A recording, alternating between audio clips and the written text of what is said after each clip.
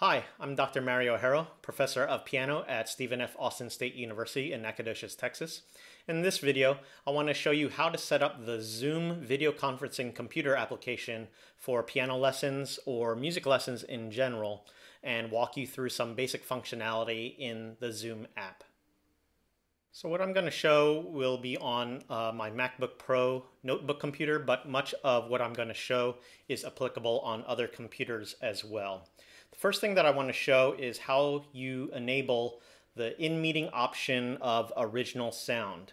And this is especially important for music lessons over Zoom uh, because the default audio settings are optimized for speaking and not music. That means there are filters in place that suppress the noise from fans or air conditioners, which is fine, but then it might misinterpret soft playing or low frequencies on pianos and other instruments as background noise. So in order to enable that in-meeting option for original sound, you'll have to go to the zoom.us um, menu here and go to preferences and select that. And then it's going to pull up this window over here. I'm going to drag it over here if you don't mind. And then what you want to go is into audio here, okay? Make sure, of course, that your microphone, I'm using a, a Zoom H4n audio recorder as my uh, external USB microphone uh, but you could also use your built-in microphone as well here. And what you want to make sure that you uncheck, remember you want to uncheck is this automatically adjust microphone volume. Don't have that checked, but have that unchecked so that it stays at one consistent volume level throughout your Zoom meetings here, okay? And the next step is to go to this advanced button and go ahead and click on that you'll see these advanced features such as show in meeting option to enable original sound from microphone. So I want to check that. And then underneath that is audio processing. One says suppress persistent background noise and its default is to auto. What you want to do if you're using Zoom for music lessons is to set it for disable. All right. The next option is suppress intermittent background noise. And then what you want to do is also disable that particular um, option as well. And then the last one you don't have to do is echo cancellation. There's only two options. One is auto and aggressive. I typically haven't seen much of a difference between the two here, but you can set it to aggressive or experiment between the two here. What this is uh, mostly used for is for when there are echoes coming in over a microphone and speakers here. So um, I usually recommend to students and teachers to mute their microphones when they're not um, playing for one another here. That way it just cancels out the echo automatically here. But if you forget to turn off your microphones, then maybe the aggressive feature might be the best thing to do. So that's how to enable the in-meeting option for original sound in your preferences. However, you do have to toggle it on in the middle of your meeting. So I'm just going to start a new meeting here.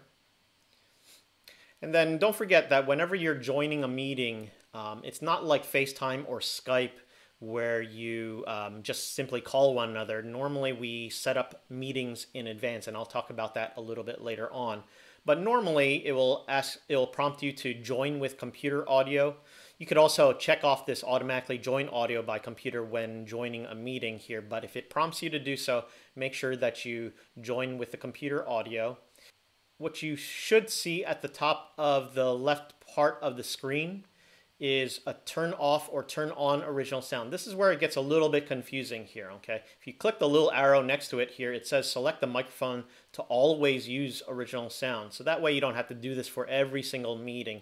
Can just have this original sound for every music lesson that you're going to be um, giving or taking on Zoom. And I'm going to use my H4 and then it says turn on original sound. So what I want to do is I want to tap or click that so that it shows turn off original sound. It's a little bit confusing here. Wish there was like a little green slider that says that original sound is on here. But if you see turn off original sound, that means if you push the button, then it will turn off the original sound. But and that's actually what we want to see here is the turn off original sound. So if you see turn on original sound, then that means the original sound is off and you're still going to get those filterings of it here. but this is the setting that you want for original sound. Now, if you're a student, you'll likely receive an invitation from a teacher that looks like this, either eh, through email or some other type of communication. You can either click on the link and it will launch that meeting through your Zoom app automatically. Um, oftentimes, uh, the teachers will include the password already in this URL, or at least sometimes the Zoom uh, app generates that for you here. And then also there's another way that you could do it uh, on the invitation. You might see a meeting ID and password so that when you're in the Zoom app itself, go ahead and tap on join and then go ahead and tap in that meeting ID you don't even have to do the spaces. This is just a dummy um, uh, meeting ID. I don't even know if it will work here. No, it doesn't work because I just made it up here. But and if it prompts you to do the password, then of course input the password as it is uh, indicated on the invitation, and that will uh, uh let you go in here. But um, usually the um, uh, direct URL address link usually works in launching the meeting itself. Now, if you're a teacher, you would like to usually schedule the meeting ahead of time. There, it, as I mentioned before, it's not like FaceTime or Skype where you can just simply call somebody here. Of course, you could always just generate a new meeting right on the fly and then send out the meeting invitation afterwards here. But I usually find it beneficial to schedule a meeting here for the piano lessons here. So you could say um, next piano lesson for I don't know, Joe here. And then you could say set the particular date in advance here. Let's say we go with Monday at 2:30 p.m. ends at uh, um, ends at 3:30 p.m. Okay. Make sure, of course, that you have your time zone set here. Okay. This goes for both teachers and students here. Uh, if you're not in the correct time zone, then you might get your um, uh, um, timings mixed up here. So just make sure I'm in the central time zone here. And most of the times they set it automatically based off of your location here, but you know, you're welcome to do otherwise here. Uh, generate the meeting ID automatically. It's good to have the password. In fact, the um, university where I teach has a password already automatically automatically generated, and you're required to have so. Uh, I like to have the video enabled for both video and participants, so make sure you check off all those here. You know, there's actually ways of actually connecting through telephone and computer audio here, but uh, and you could leave that all in there if you want to, but you don't have to. And then as far as I just set to computer audio, you could even have specific calendars that it exports to. There's also more advanced options. Some teachers I know like to use a uh, waiting room and just kind of have one long um, uh, Zoom meeting, and then students kind of come in the waiting room, and then they come in and go out there as well. But I just like to have it for each individual student's lesson here. Enable join before host. That's up to you whether you want to toggle that on or not. There's various advantages, disadvantages about that. If you want to mute the participants upon entry, especially if you have a group class and you don't want someone like bursting in um, and, and making a lot of noise, it might be beneficial to have that, but you might have to remind your students to unmute their microphones so that they can actually hear you. And we'll talk about that in just a second here. I like to automatically record the meetings here. You have the option to either record locally on your own computer. If you don't have enough space here, you can upgrade to the pro uh, versions um, and record it to a cloud so that you can actually even share the uh, recordings with your students afterwards. And you can also add uh, alternative hosts as well here. So I'm going to go ahead and click on schedule and then my meeting is now scheduled here. And if I go into my meetings, oh, it also exports it to my calendars if I need to here, but I'm not going to bother with that since this is just um, uh, for demonstration purposes. I'm going to go to meetings here and I have my next lesson for Joe over here.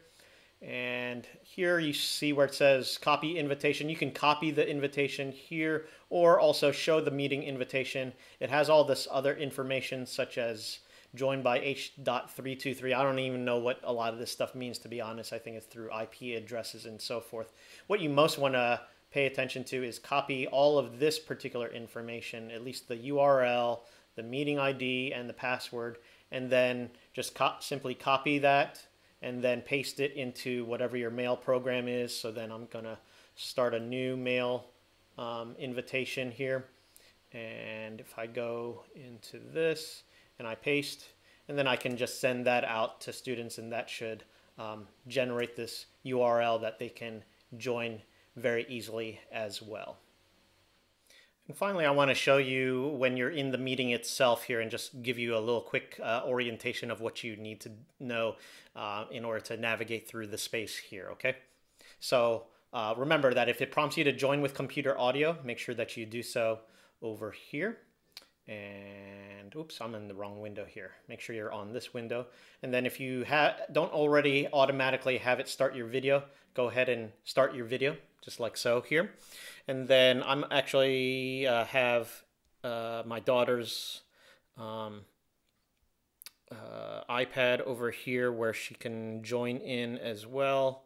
So I'm going to do that here and I'm going to join with video. And I'm going to mute her microphone here as well. So let me, um, well, actually, let me join in.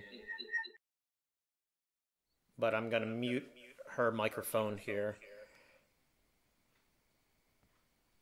So I've gone ahead and muted her microphone here. So as I mentioned before, there's this turn on original sound. That's not what you want for music lessons here. Remember, I mean, you want it on, but you have to have it show turn off original sound in order to get the best uh, uh, uh, videos that you, excuse me, audio that you need in order to um, make sure it's working properly for music lessons here, okay? Uh, if you ever need to mute your audio, it's down here on the bottom left. You just toggle it both on, I'm muted, and then I'm toggle it off and then I'm unmuted here uh, as well here, okay? Uh, you could see the participants as well here that are here. In fact, as the host, I have the opportunity to ask to unmute this, uh, tell the student to unmute if they're muted and so forth. And some other options can stop their video, make them a host, etc. Uh, put them in the waiting room if you want to punish them. I don't know. Uh, but uh, you have that. And then also, don't forget, there's also the speaker view, uh, particularly if you're the student and maybe you don't necessarily need to see the side by side, but whoever is talking the most uh, can be displayed on the screen here. Okay, it's a little bit confusing because I got two different um, videos going on, but you get the idea. But gallery view, I like the gallery view because then you could see kind of like from that particular perspective on how it all carries through. Of course, when you want to leave the meeting, uh, you just tap on end and it will either tell you, give you the option to leave the meeting or end the meeting for all here. So whichever one works best for you. So I hope that gives you a little bit of an idea on how to get around with Zoom. Uh, also, just as far as framing your shot, I like to place the camera in such a way that I can see students' hands at the piano keyboard. Here's just a couple of just still shots of, of my kids at the piano uh, where I've recorded them. And these are usually the most um, useful uh, angles in order to um, place your camera so that you have the best Zoom musical experience online as you possibly can. All right. So if you have any other questions, you feel free to email me at aharomp at sfasu.edu. And good luck with your lessons here. All right. Take care now. Bye bye.